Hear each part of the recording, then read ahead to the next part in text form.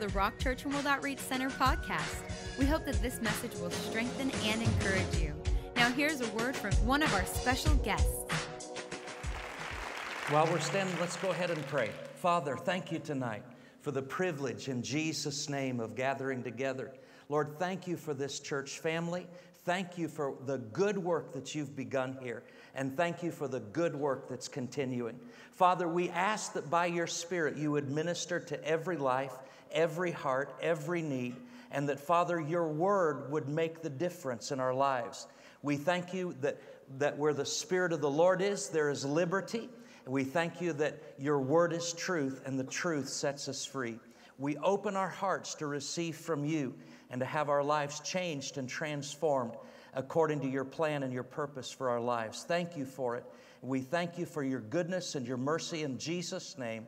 And everybody said, Amen. You can go ahead and be seated. Pastor Dan, thank you for all those kind words. And uh, Pastor Jim and Deborah, as always, every time that you allow me the privilege to come, I look forward to it uh, from whenever I find out about it. And uh, this is always a highlight, a treat uh, for me to be here because I just, I love the passion, I love the purpose that God put in Pastor Jim and Deborah's heart uh, when they started The Rock. Aren't you glad to be a part of it? And glad for great leaders and glad for the great team that's, that's carrying on the work. Uh, I want to share with you tonight, and, and Dan, I will mention something a little bit about the turkey trip. It'll fit in here in a little bit. Uh, my wife and I did just return uh, from leading a group to the sites of the seven churches in the nation of Turkey, the churches of the book of Revelation. And I'll share a little story from that as we get a little bit further into this message. But I, want to share with you something that happened to me about a year and a half ago. Uh, my wife and I were ministering in the nation of Indonesia. It was our very first time to that particular nation. And uh, we were sharing in a church. And I don't know what it is when you're overseas, you really want to do a good job and really help and bless the people. And um, Indonesia is the most populous Muslim nation in the world. And so we knew that, you know, these believers are, you know, very serious about uh, their relationship with God. And I was just wanting to give them the very best I could, you know, with God's help. And uh, I was sharing with them just a real simple fact that everybody knows. I think everybody understands this. If you've been alive very long, you know it. And I was just talking about the fact that everybody in life faces problems. How many of you know that's true? Not a deep revelation, is it? Uh, just, you know, look at your life, look at your week, your month, whatever. Uh, just everybody faces problems. And I was making the statement, and of course, I'm working through an interpreter. And whenever you're working through an interpreter, you're kind of at their mercy to communicate accurately what you said. And um, I, I made the statement I said, Wouldn't it be wonderful if, now, now what, when somebody says if, you understand that it's not necessarily so, it's kind of a hypothetical. I said, Wouldn't it be wonderful if at the end of this church service, I could pray a miracle prayer over every person here? And because, and I was kind of teasing about this, because of my great faith and my great anointing, uh, because of this prayer, uh, God would bless every single one of you with a trouble free life. Because of this miracle prayer that I would pray, uh, you will never face another problem again as long as you live. Now, I said that through the interpreter. And when I got done with my statements and the interpreter got done with, you know, interpreting, the crowd went absolutely wild. They began to shout, jump, stand up. I mean, they, they were absolutely celebrating. And I realized something got lost in the translation. Because what, in essence, the interpreter said was at the end of this service, Brother Cooke is going to pray a miracle prayer over this entire congregation. And because of his great faith and great anointing, they didn't catch that that was a joke. Because of his great faith and great anointing, God is going to bless every single one of you with a trouble free life. You will never face another problem again as long as you live. The crowd went berserk. And I realized one of two things is going to happen. Either I've got to correct this right now or there's going to be a lot of people that hate me by Monday at noon. and so I said, let me, let me back up and clarify that statement. I did not mean to say that I could pray that prayer.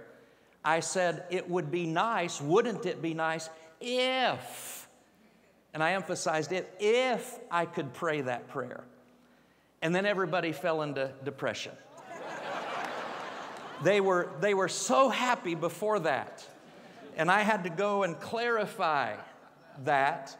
But you know, I, I, seriously, how many of you know there's a difference between faith and wishful thinking? And faith is always based, and should be based, true faith, genuine faith. The faith that God honors is a faith that is based on His Word.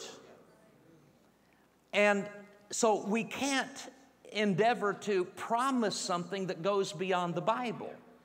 And so I said to this congregation in Indonesia, I said, let me take you to a couple of scriptures and let me share with you something that will help us understand life and understand God. And the first scripture that I took them to, and we're going to look at it tonight, is Psalm 34 and verse 19. Psalm 34 and verse 19. And in this psalm, David says, Many, everybody say many, many, many are the afflictions of the righteous. But, aren't you glad there's that word there? But the Lord delivers him out of them all. See, that verse alone communicates clearly why I cannot promise somebody that I'm going to pray for you and you're never going to have another problem again. Matter of fact, in one church service, there was a, a minister that was praying for people individually, and a person came up to him, a man came up to the minister and said, I want you to pray for me. And the minister said, Well, what do you want me to pray for you about? And uh, the person said, Well, I want you to pray that I'll never have another problem with the devil. And the minister said, Oh, so you're wanting me to pray that you'll die? And the person said, Oh, no, no, that's not. And the minister said, Well, the only place you're never going to have another problem is, is in heaven. And uh, so, so we've got to have a realistic faith. Realistic faith. And, and that doesn't mean you have to be pessimistic. That doesn't mean you have to be negative or fatalistic. It just, it's, it's a true statement that many are the afflictions of the righteous. But the Lord delivers him out of them all. And I, I love you too much. I'm not going to stand up here and lie to you and tell you that if I pray some miracle kind of prayer, that you're never, ever going to face another problem because the Bible tells us something different. The Bible says that even for the righteous, how many of you here are righteous tonight? And you may be looking around and say, well, how dare they say that? They're not, when, when, when a person says they're righteous, it's not boasting in ourselves. Our righteousness is based on who Jesus Christ is and what Jesus Christ did. When you have your faith and your trust in Jesus and what He did when He died on the cross for your sins and shed His blood for you and rose from the dead, He is your righteousness. That's a gift that is given to you, not something that any of us earn or deserve because we're good or perfect or religious. That's a gift that is given to us. But even the righteous, according to Psalm 34, verse 19, will face many afflictions, but the Lord delivers him out of them all. I'd rather look at the last part of that verse and be happy rather than look at the first part and be sad. If there's an answer, if there's a solution, then I'm not going to waste my time dwelling on the problem. How about you? There's another verse in the New Testament that kind of says the same thing. And in John chapter 16, verse 33, This is a statement by the Lord Jesus Christ Himself. Jesus said, John 16 33, These things I have spoken to you, that in me you might have peace. In the world you shall have tribulation. That just means problems, trials. In the world you will have tribulations, but, there's our word there again, but be of good cheer, for I have overcome the world. So, both David in the book of Psalms and Jesus in the New Testament state that in the world we're going to face some challenges.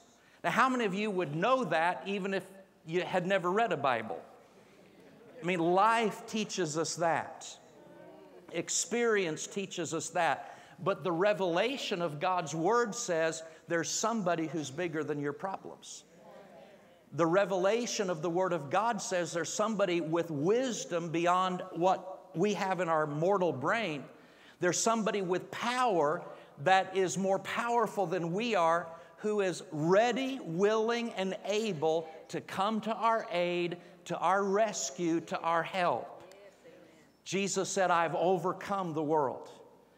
Now, when it comes to having realistic faith, uh, one of the verses that comes to mind to me is, is a verse that Paul stated in 1 Thessalonians chapter 2, verse 18 when he was talking about something that he wanted to do. He had certain desires, and Paul, you know, he breathed and drank and ate and lived the church.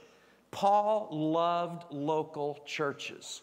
And Paul went from city to city, starting churches and getting people born again and getting people to follow Jesus, be disciples of Jesus. And one of the places that he had started a church in was a city in northern Greece called Thessalonica.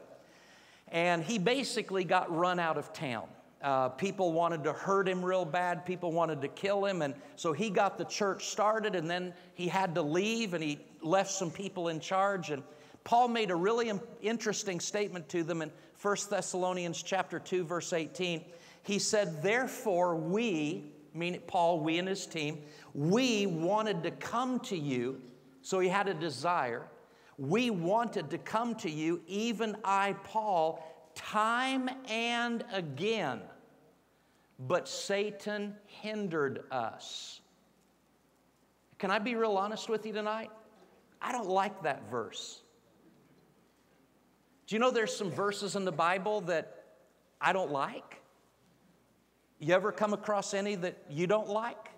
Be honest there, you know, the flesh, the flesh part of, of people, you know, we just want to be comforted and all that. But, you know, the Bible sometimes will challenge us. The Bible sometimes, it, it doesn't candy coat things. It tells us the, the ugly realities of life, but then it gives us hope because of a God who's bigger than those ugly realities. You know, I know the kind of ministry that you get here, uh, and I know that uh, you get incredible teaching and incredible preaching. And I know that the preaching will not only feed you, but will also challenge you.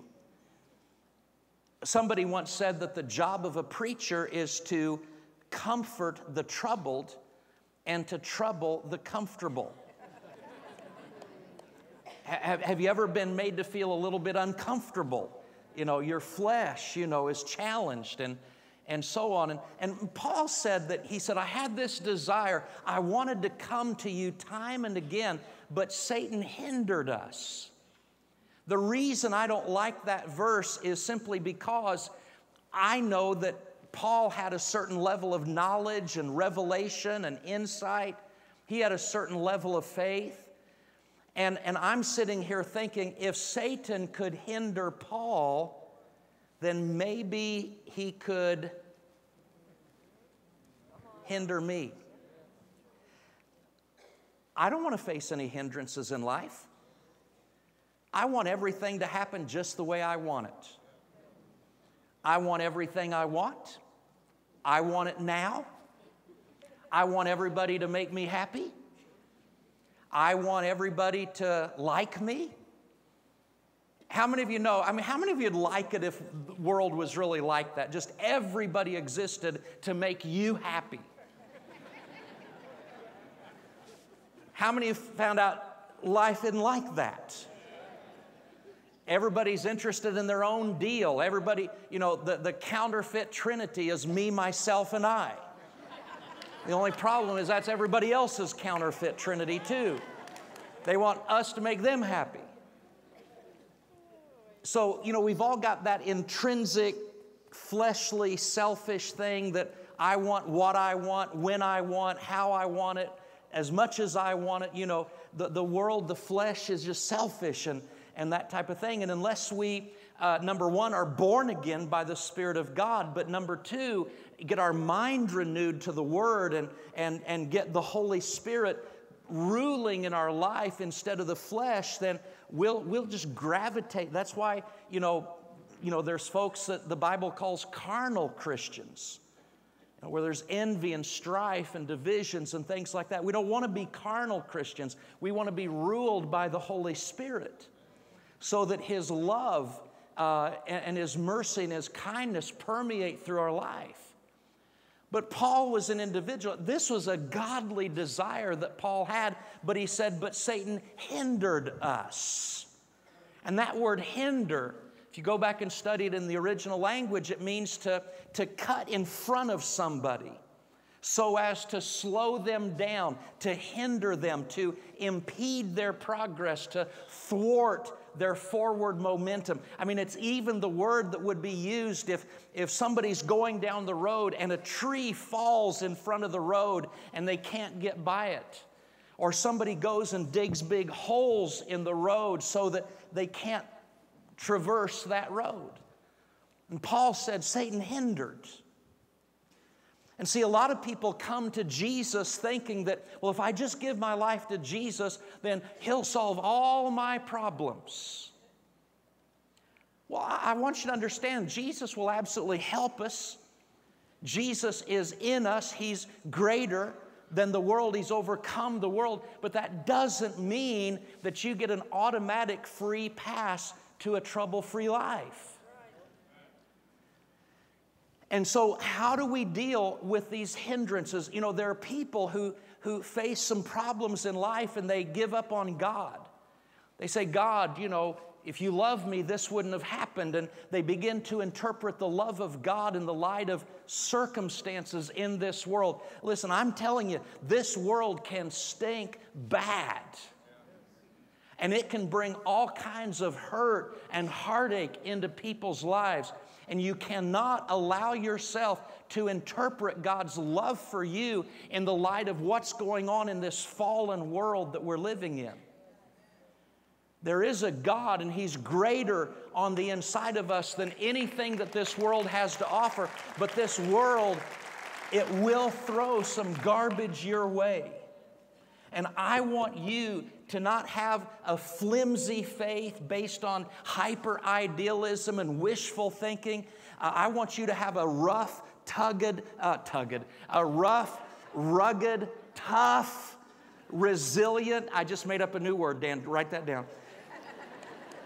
I want you to have a tough, rugged faith that, that can, you know, face the, the realities of life and keep moving forward with God.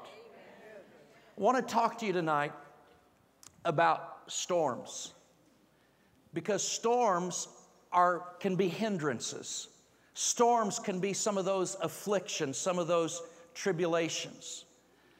Seems like all the different parts of the country have their different uh, weather problems or natural problems. You know, Southern California is known for earthquakes. I'm from Oklahoma. We are known for tornadoes. I was just in um, Florida this past weekend. You know, they get hurricanes. I'll be going to Bismarck, North Dakota in a couple of weeks, and in the wintertime, they get blizzards. You know, all the different parts of the country seem to have their uh, problems that, that they can potentially face, many of them weather related. And how many of you know there's a difference between a blizzard and a tornado? You know, like I said, my wife and I live in Oklahoma, and every once in a while, especially in the springtime, Lisa will call me and say, Tony, you know, I'll be upstairs studying or something, and she'll say, you know, you might want to come look at this on the Weather Channel. There's a tornado on the ground. It's, you know, kind of in our general vicinity. And, you know, never once have I said to my wife, honey, don't worry about it. I've got a snow shovel in the garage. Because snow shovels don't do anything against tornadoes. There's different things that you do to deal with different types of storms naturally. And, and I believe that biblically and spiritually, I believe there are different kinds of storms that we face in life. And I want to talk about those storms from three Bible stories. And the first Bible story that I want to talk to you about tonight is the storm of Jonah. How many of you know who Jonah was? Jonah was a prophet in the Old Testament, a preacher, and he lived in Israel. Was a Jewish prophet, and God told him to go to a place called Nineveh. And does anybody just offhand happen to know where Nineveh, uh, where it is today, where the ruins of Nineveh are located? It's, it's located in Iraq. And it was the headquarters, the capital of the Assyrian Empire, and they were bitter, bitter enemies of the Israelites. And the Israelites were bitter enemies of them. And God said, These people are very wicked. And uh, if you don't go preach to them, and if they don't repent, their wickedness is going to bring judgment on them and they'll all be destroyed. And, and if you even remember this story, if you ever went to Sunday school as a kid or just have read this in the Bible, when God told Jonah to go preach to the Ninevites, their bitter enemies, the Bible says that Jonah got on a ship, he got on a boat that was sailing for a place called Tarshish. You want to take a wild guess where Tarshish was? Spain. Now, if you know anything about geography, Israel is here. Nineveh was right here. It wasn't that far away. Spain was way over here. In other words, God told him to go preach to a group of people, and the bottom line is Jonah hated those people. And when he thought that God might save them, he hated them so much, he got on a ship to sail to the farthest point known to man at that time. He, he was sailing to Spain. What do we call that? Running away works. What's another word? Disobedience. Well, Jonah gets on the boat, and see, he didn't just, he wasn't just content to run away from God, disobey God, but he told everybody on the boat what he was doing. Listen, next time you decide to just disobey God, don't tell everybody about it. I mean, Jonah tells everybody, I'm, I'm running away from God. So this storm comes, the boat's being battered about in the Mediterranean there. And uh, all these guys remember that, hey, this Jonah guy told us that he was running away from his God. So they think, no need for all of us to die, let's just throw him overboard. Just remember who those friends of yours are that you're hanging out with. Because you'll think they're real loyal until. And they throw Jonah overboard, and the next thing you know, the Bible says that, that the Lord had prepared a great fish. Matter of fact, let's look at this. It's in the book of Jonah, chapter 2. Jonah chapter 2 and verse uh, what is it, 16 or 17? I'm sorry, Jonah chapter 1, rather, Jonah chapter 1, verse 17. It says, Now the Lord had prepared a great fish to swallow Jonah. And Jonah was in the belly of the fish three days and three nights. I don't know about you. Now, Pastor Jim, you're kind of a seafaring guy, you know, you're kind of a water guy. I was raised, my high school was in the middle of four cornfields in Indiana. So I wasn't a fishing guy at all. And I'll be honest with you, today I'm still not, you know, just holding fish and things like that. That's just kind of creepy to me. I, I grew up with beef, all right? You know, give me a good steak or whatever, but just, uh, holding a fish to me is just kind of creepy. I know you may think I'm a sissy or whatever, but it's just, that's just how it is. And, but can you imagine how gross it would be to be swallowed by a great fish? The, the smells, the textures, the juices that you're in, the gastric juices that you're I'm not trying to be gross. I mean, it just was. And I don't know if you ever see anything humorous in the Bible or not, but I want you to look at this. See, Jonah had an attitude. Jonah did not want to do what God wanted him to do. Jonah wanted to do what Jonah wanted to do. And he was stubborn and he was rebellious and he was running away from God and telling people about it. Now, look at this again. Now, the Lord had prepared a great fish to swallow Jonah.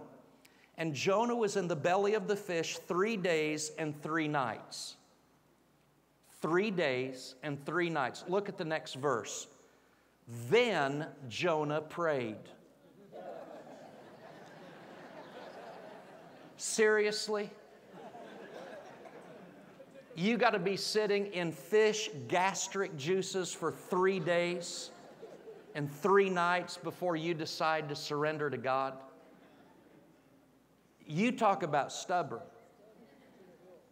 But you know, Jonah goes on to pray this beautiful prayer. He consecrates himself to God, and, and the Bible says the, the Lord caused the fish to regurgitate Jonah, which I'm sure that was a treat. and, and the word of the Lord comes to Jonah a second time and says, Arise, go to Nineveh. And Jonah said, I think I'll do it this time. But see, that's one type of storm in the Bible a Jonah storm. And a Jonah storm is a self inflicted storm, it's where you create your own problem. Now, listen, I didn't come here tonight to beat anybody up or condemn anybody, but you know, isn't it just good to get set free by the truth? If, if I have created my own problem, then I just need to quit blaming everybody else for it. I need to quit blaming God. I need to quit blaming the devil. You know, the devil's not, he's not omnipotent and omniscient and omnipresent. He can create some problems, I understand that, but not everything in the world is caused by the devil. There are some things that we just, you know, when we're dumb, we don't even need the devil because we mess our own life up. Do you ever hear, and uh, let me give you a kind of a good hymn. You want a hymn to back up what I'm saying? How many of you know the song, What a Friend We Have in Jesus? Do you know there's a line in What a Friend We Have in Jesus that says, Oh, what peace we often forfeit. Oh, what needless pain we bear. How many of you had some pain in life? We all have. Some more than others. And you know what? I think just part of life, there, there's just some pain going through life. There's just some things that hurt. And I've, I just figured out and, and, and hopefully got it, you know, in my head a, a while back that, you know, there's enough pain in life that I don't really need the needless kind of pain.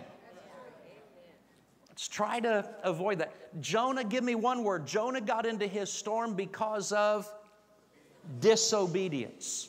And he got out of his storm, give me another word obedience, repentance, consecration, prayer. He repented. That just means he turned away from going his way, doing his thing, and he turned around and said, God, I'm going to do it your way.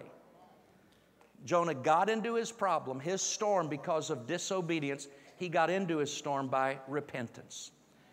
And you know, if we're not careful, we'll tend to think, okay, well, that answers everything. Everybody who's having a problem, it's because there's sin in their life. I knew it. Wait a minute, remember we said there's more than one type of storm? Turn in your Bibles to Mark chapter 4. Not every storm is a hurricane. Not every storm is a tornado. Not every storm is a blizzard. Not every spiritual storm is a Jonah storm. not every storm that you face in life, metaphorically, is because there's sin in your life, or because you're out of the will of God, or you're in disobedience, or because you've missed God. There's other types of storms. And in Mark chapter 4, we begin to see one of these storms, one of these other storms. And it says in Mark 4:35, Jesus had to give you context, Jesus had been preaching and teaching all day long. Great story called the parable of the sower. And it says in Mark 4:35, on the same day when evening had come, he, Jesus, said to them, his disciples, let us cross over to the other side. Now, again, you need to know where he was teaching. He was teaching beside the Sea of Galilee. We would just call it a huge lake, but Jesus is teaching on the side of the lake. And he, what does he tell his disciples to do?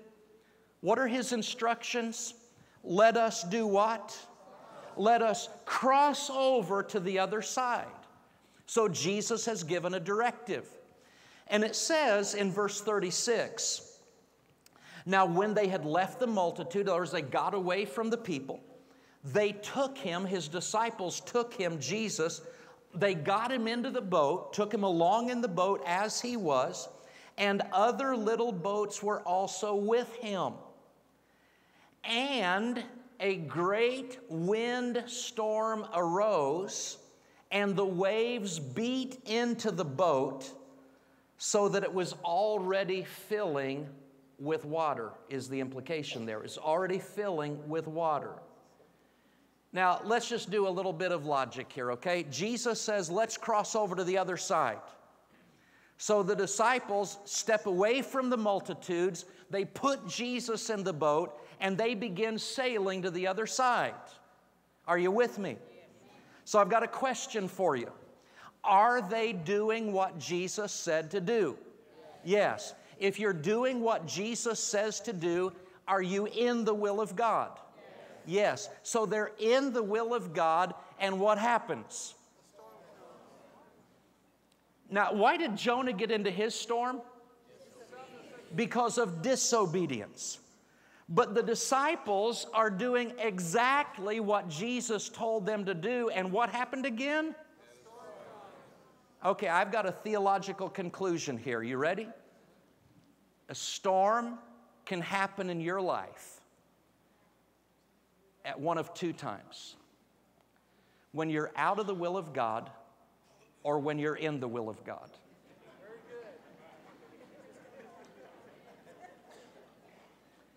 Now, does that seem to be biblically supported? Yeah, the disciples are doing exactly what Jesus said to do, and, and, and yet a great windstorm arose. The waves were beating into the boat so that it was already filling. But look at verse 38. But he, Jesus, was in the stern, the back of the boat, asleep on a pillow. Man, he was either really, really tired from preaching or he really knew how to rest in the peace of God. He's in the back of the boat asleep on a pillow, and professional fishermen are panicked. And they awoke him and said to him, Teacher, do you not care that we are perishing? Can I tell you, there's two lies from hell that you need to avoid when you're in the midst of a great storm. Lie number one is that Jesus doesn't care. Lie number two is that you're perishing. Do you ever notice how when the enemy begins to play with your mind, he always paints pictures of the worst case scenario? What counselors call catastrophic thinking. And, and that's what their belief system was. They believed Jesus didn't care and we're going down the tubes. We are perishing. You need to resist those two lies.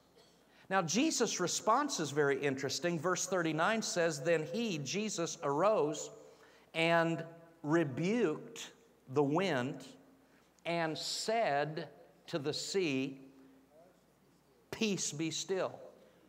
and there was a great calm. Jesus talked to things. He talked to the winds, he spoke to the sea. There are people in the world today that say if you talk to things, you're crazy. I, kind of take this position if you don't talk to things, you'll go crazy. but you need to talk the right way. Jesus exercised spiritual authority. Now, let me tell you two things that Jesus did not do, because this is very important. Number one, Jesus did not get up and look at the storm and turn to his disciples and say, All right, who sinned?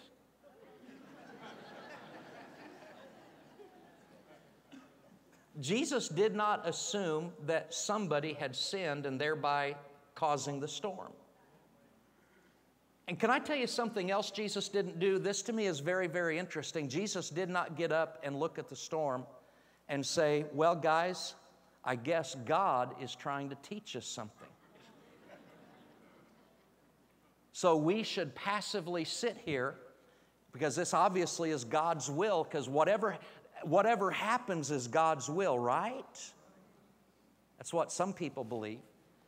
And so, Jesus, if he had believed that, he would have thought that, well, if there's a storm, then it must be from God and he must be trying to teach us something. So let's hold hands and sing Que sera, sera. Whatever will be, will be. The future's not ours to see. Que sera, sera. If you're my age or older, do not get your theology from the Doris Day show. Jesus didn't assume that one of his team members had sinned, nor did Jesus assume that they were to passively submit to this storm. Jesus got up and rebuked it. So he must have believed that this was some kind of spiritual attack as well as a natural problem. But, but at whatever rate, he, he took spiritual authority over it. Now, what's interesting is that when you look at storms in the Bible, what you need to understand is the storm is not the main issue. The main issue is the destination. The point of the storm of Jonah was not the fish and not the storm, it was Nineveh. The point of this story in Mark chapter 4 was not the storm, it was what was at the other side. Now, you know what was at the other side? The madman of Gadara. A demon possessed man that cut himself, was lived a life of absolute torment. And Jesus was going to set him free. You think that might be why that storm arose? Jesus had just taught them that Satan comes for the word's sake. And I want you to know, I want you to understand this that when you, as a believer, take a stand on the Word of God, you become a threat to the enemy. He'll fight to get you to quit believing the Bible, to get, get you to quit believing the Word of God. We had one student in Bible school several years ago who said that he said, You know, I never really was serious about the Bible until I got to Bible school, which you don't have to wait until you get to Bible school. You can be serious about the Bible right now. But just in his case, that was the, the case. And he said, You know, I was really never serious about the Bible. And, and because I was never serious about the Bible, he said, I really didn't know anything about spiritual attacks. But he said, Once I started getting into the Bible, he said, I began to face spiritual opposition. He said, I went to the class Christ the Healer and he said, I started getting so excited about healing. And he said, and I got attacked with sickness. And he said, then I went to the class on God's laws of giving and prosperity. And, and he said, I started getting excited about giving and prosperity. And he said, and I went broke. So then I went to the class on fasting and I gained 10 pounds. now, I don't think that was a spiritual attack. I think that was a, an out of control fork, but can I tell you something? Satan doesn't care about a church that's not winning souls. Satan doesn't care about a church that is just going through the motions of religious services and things like that. But you show me a church that's excited about rescuing souls from hell. You show me a church that wants to get people born again and spirit filled and devoted followers of the Lord Jesus Christ and, and create a mindset of missionary within every member where they understand that we are the light of the world. We are a city set on a hill. We're going to set the captives free. And there will be some storms. Jonah got into his storm because of, he got out of his storm through. Jo, uh, the disciples got into their storm in the midst of perfect obedience. And they got out of their storm through spiritual authority. Let me take you to a third storm, Acts chapter 27. One size doesn't fit all. The Apostle Paul, my hero. By this time, Paul was a prisoner. Guess why Paul got arrested? Wasn't jaywalking. He got arrested for preaching the gospel. Still happening in the world today, many nations. Paul knew that he wasn't going to get a fair trial in Israel because of some of the religious prejudices against him. And so, because he was not only Jewish, but he was also a Roman citizen, he appealed to Caesar.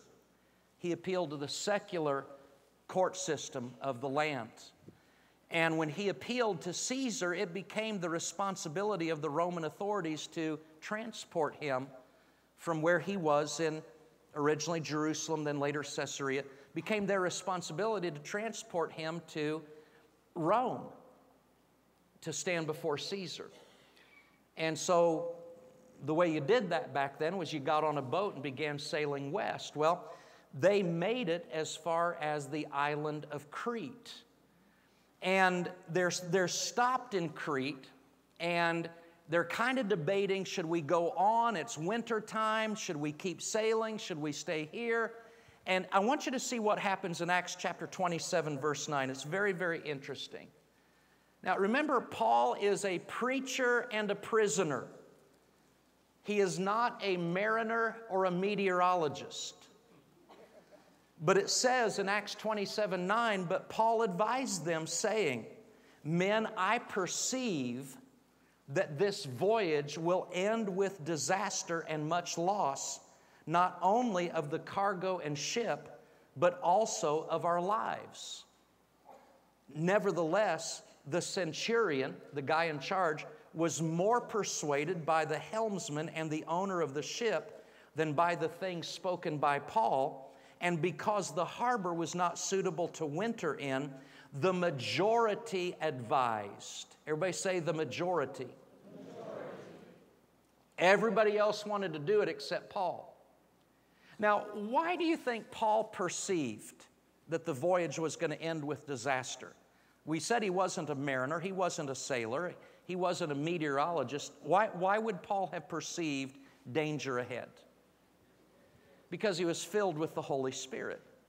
Jesus said the Holy Spirit will show you things to come. Paul had a witness in his spirit guys, this is not right. This is not the direction to go. He had a conviction from the Holy Spirit in his heart. But because he was a prisoner, he didn't have any rights. And so everybody else said what they wanted to, and the majority prevailed. You know what happened? They sailed right into a storm. And it was a storm the Bible describes as being of typhoon strength. And it blew them around the Mediterranean, which is a huge body of water, for 14 days. Now, Dan, here's where I'm going to bring up our recent trip. We were just in Turkey. We sailed from the coast near Ephesus out to the island of Patmos. It was a four hour boat ride. Everybody say four hours. We had very rough seas. This was a week and a half ago. In four hours on that boat, half of our group, yours truly included, was looking at the ocean, the sea. Do you get my drift? I told one of our group that it reminded me of an Old Testament trip because there were so many heave offerings being made. After throwing up three times, I went and laid down on a bench and I just said, Don't touch me, don't talk to me. And I just laid there. And I'm sitting there, that's, this is four hours. Paul was on this ship for 14 days. Horrible, disastrous conditions. 14 days. And I want you to read what happened here Acts chapter 27, verse 20. How many of you have ever had a situation where the answer didn't come as quickly as you would have liked? How many of you would like me to tell you tonight how to never have a prolonged situation, but how to always get an immediate answer? How many of you would like me to tell you that? I'd love to know. I wish I knew. I'd, I'd tell you and we'd all be happy. And then I'd pray for you that we'd all have a trouble free life. But Acts chapter 27, verse 20 says, When neither sun nor stars appeared for many days, and no small tempest beat on us, all hope that we would be saved was finally given up. But after long abstinence from food, yeah, I'm sure there was long abstinence from food. Nobody felt like eating. Then Paul stood in the midst of them and said, Men, you should have listened to me. What's that translate to today? I told you so. You should have listened to me and not have sailed from Crete and incurred this disaster and loss. Uh, and now I urge you to take heart, for there will be no loss of life among you, but only of the ship. For there stood by me this night an angel of the God to whom I belong and whom I serve saying, Do not be afraid, Paul. You must be brought before Caesar. And indeed, God has granted you all those who sail with you. Therefore, take heart, men, for it sh- I believe God that it will be just as it was told me. You know, that angel didn't show up the first day of the storm. Angel didn't show up the second day of the storm. I don't know why this thing was protracted. I don't know why this thing took longer.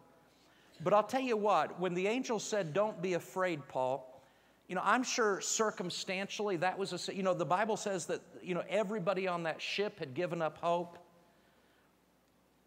You know, maybe Paul, I, I don't know if he was dealing with fear, if that's why the angel said, Paul, don't be afraid. But I'll tell you one thing I can't imagine that Paul didn't wrestle with the temptation to be so angry at the people who put him in that position.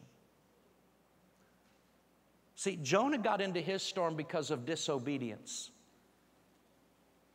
The disciples got into their storm in the midst of perfect obedience, but Paul got into his storm because of the disobedience of other people.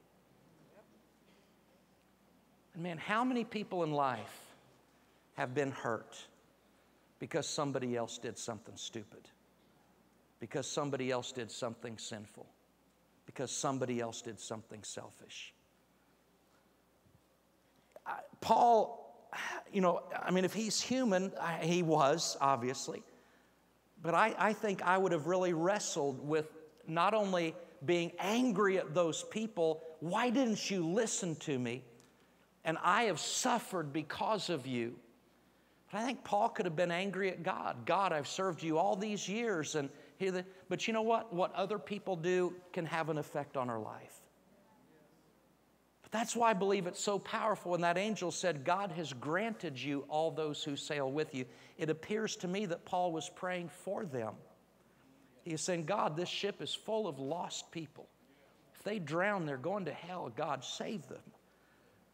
You know, let them live longer so they have more of a chance to, to know you. He was praying for them. See, he wasn't, he wasn't wallowing in self pity, in selfishness. He was seeing them as people that were in need of God's mercy, God's forgiveness, and God's help. Paul got out of his storm simply through perseverance. He persevered in faith. I wish faith was always instantaneous. Man, I wish I knew how to make it happen instantly for everybody. But I found there sometimes, and see, even Jesus didn't, didn't make every storm stop instantly. Did you know there was one storm where he just walked on top of the water? Why didn't he make that storm stop? I don't know why he didn't. But I do know this there's three different kinds of storms in the Bible, and there's three different ways that people got out of it. Paul got into his storm because of the disobedience of others. He got out of it through perseverance. But what I really believe is that the big thing of these stories is not the storms, but the destinations. Jonah made it to Nineveh. The disciples and Jesus made it to the other side. Paul made it to Rome. And in every case, there was an explosion and an expression of the mercy and the kindness of God. I want you to know for Rock Church, you have a destination. Not, I'm not talking about a geographical destination. I'm talking about a place in God, a place of accomplishment, a place of productivity, a place of fruitfulness where God wants you to go.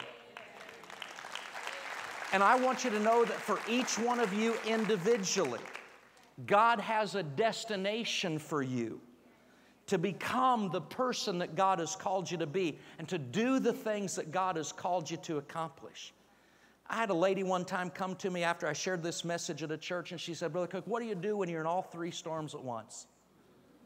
She said, because there's one area of my life, she said, I'm like Jonah. I was running away from God. I made some stupid decisions and I'm still dealing with the consequences. She said, Tony, there's another area where I'm like the disciples. I was endeavoring to obey Jesus, I was endeavoring to do what God wanted me to do, and it seemed like all hell broke loose. You know, spiritual opposition to keep me from continuing to obey God. And she said, and Tony, there's a third area where uh, another person close to me made a decision. She said, I'm like Paul. Somebody else made a, a bad decision, and it's affecting me.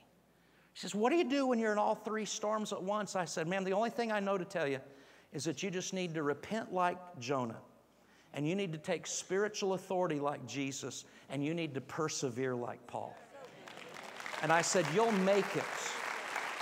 You'll make it to where God wants you to go. Let's pray together. Father, in the name of Jesus, thank you for your wonderful people here tonight. Thank you for your love, for your compassion for each and every one of us.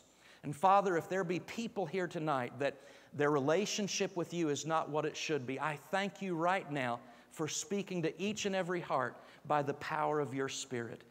Father, I'm so thankful that you love me enough that even when I had sinned and come short of your standard, that you sent Jesus to die on the cross for me so that my sins could be forgiven. And Lord, I thank you, Jesus, that you died not just for me, but you died for every person in this place tonight. And I want you to know, I'm speaking to you now. I'm not talking to God, I'm talking to you right now. If you're in this place tonight, and if your heart were to stop beating tonight, do you know, do you have the absolute confidence, the absolute assurance that you are, number one, you're a child of God, and that number two, you're going to be in heaven? See, there was a time when I was growing up, I grew up in church, and I believed in God in my head. But if you said, Tony, if you were to die right now, do you know for sure that you'd go to heaven? The only honest answer I could have given was, Well, I hope so. And the reason I didn't have any confidence, the reason I didn't have any assurance is because even though I said I believed in God, and even though I said I believed in Jesus, the truth of the matter was I was trusting in myself. I was hoping that I had been good enough, that I had done enough good things, that I had gone to church enough. Listen, let me tell you this because I love you. you can't earn your way to heaven by doing good things or, or doing good works or going to church enough. All those things are great and wonderful, but the Bible doesn't say you can be good enough to make it to heaven or you can be perfect enough or religious enough. Heaven's not for good or perfect or religious people. Heaven is for one type of person and one type of person only, and that is forgiven people. And there's only one way that God made for us to be forgiven, and that's when He sent His Son, Jesus Christ, to the cross. And Jesus died and shed His blood and rose from the dead, and He is alive right now, offering every single person here the gift of eternal life. And if you're here today and you've never accepted Jesus, I, just want you to know that God is offering you the greatest gift, the greatest expression of His love and mercy in offering you a brand new start. Jesus said, You must be born again. Maybe you're here tonight and maybe you've never made Jesus the Lord of your life. I'm not talking about just thinking about God or believing in God mentally. I'm talking about you giving all of your life and all of your heart to God. Not talking about being a lukewarm, half in, half out type Christian talking about being completely sold out to God. And maybe there's some people here tonight that you gave your life to God at one time, but you've been running away from God. You're like Jonah. God told you to do something and you've been running away from God. I'm not talking about just some little adjustment that you need to make in your attitude or something, but I mean your life is, is headed the wrong direction and you are out of the will of God. I want you to know tonight that God is inviting you, God is pleading with you, imploring you to, to be reconciled to Him. I don't want a single person in this place. If your relationship with God is not what it should be, I, if you're not born again, or if you're not uh, living fully and completely for God, I don't want you to leave this place tonight until you have that taken care of. I wonder how many people here tonight, and I'm going to ask you to, in a, just a minute, I'm going to ask you to do three very simple things. I'm going to ask you, number one, if that's you, you need to be born again, you need to get your life right with God, rededicate your life to God. I'm going to ask you to do three things. Number one, I'm just going to ask you to lift your hand and look at me in a second. Number two, I'm going to ask you to stand up when I ask everybody to stand up. And number three, I'm going to ask you to st- come and we're going to all have a word of prayer together because I want your life to be right with God. God wants you to be in right relationship with Him. How many all over this place on the count of three would say, Tony, I need Jesus for the very first time? or I need to rededicate. I'm, I'm backslid. I'm running away from God. I need to turn around and come back home. On the count of three, let me see your hand. One, two, three. Let me see your hand all over this place. You need to get right with God today. I'm looking all over this place. Ushers, maybe help me a little bit. I'm looking everywhere. Ushers, are there hands?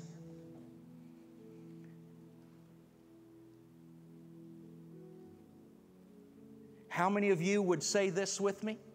How many of you would say, Tony, I have been in the middle of a storm, and it may be the Paul type of storm where you need to persevere. It may be the uh, disciples type of storm where you need to begin to take spiritual authority. We've already ruled out the Jonah. But how many of you are in some type of storm that you're dealing with? And you want us just to lift that up right now? Several hands all over this place. Let's pray together. Say this with me. Say, Dear Father, I am walking after you. I'm obeying your voice. I'm here to do your will. I will not let any spiritual attack, I will not let any spiritual opposition keep me from your will for my life. I will let no attack discourage me or dishearten me. I declare that no weapon formed against me will prosper. And in the midst of my storm, God, you give me wisdom. You give me grace. You give me peace. I will not grow weary in the midst of this storm. God, I will not harbor offense against you. I will not hold unforgiveness against others. God, I put myself totally in your hands. I put my marriage totally in your hands. I put my finances totally in your hands. I put my children totally in your hands. And I thank you, Lord, that though I may face many afflictions, you will deliver me from them all. Not some, not most, not many, but you will deliver me from them all. Thank you, God, that you're my deliverer, you're my redeemer, you're my strength. I thank you for it in Jesus' name. And everybody said, Amen. Amen. Pastor Dan, thank you so much.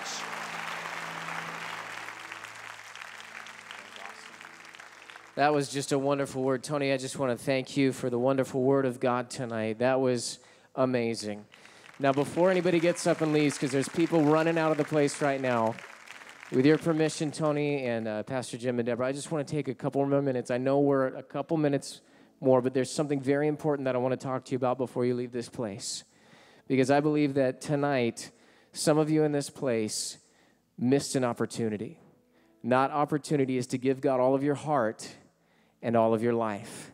And Tony asked a very important question. If you were to die right now, would you end up in heaven or would you go to hell?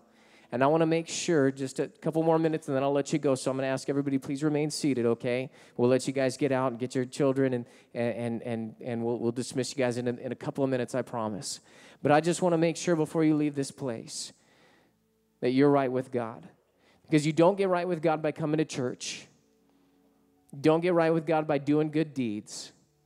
You don't get right with God because you know something about God or carry your Bible or can sing the church songs or any of those types of things. It's not about being born in America or, or being a good person doing enough good that you can work your way up, just like Tony described. But this is about your heart in your life. If you haven't yet given God all of your heart, if you haven't yet given God all of your life, then you're not going to make it. Jesus called it being born again. It's not a natural thing, it's not something that you work for, something that you believe God for and that you receive. You must be born again in order to enter into the kingdom of heaven. And if you haven't yet done that, then tonight I want to give you that opportunity one more time. I just want to make sure because I don't want, and Tony doesn't want, you to go to hell. And most of all, God doesn't want you to go to hell. It was never intended for us. It was intended for the devil and his angels that rebelled. And it's a very real place, and we're going to have to face that reality. And so tonight, I just want to give one more opportunity in, in a moment that we have here. And I want to make sure that if you were to die tonight, that you would end up in heaven and that you wouldn't go to hell. We're loving you enough tonight. God is loving you enough tonight and pleading with you. Will you give him all of your heart?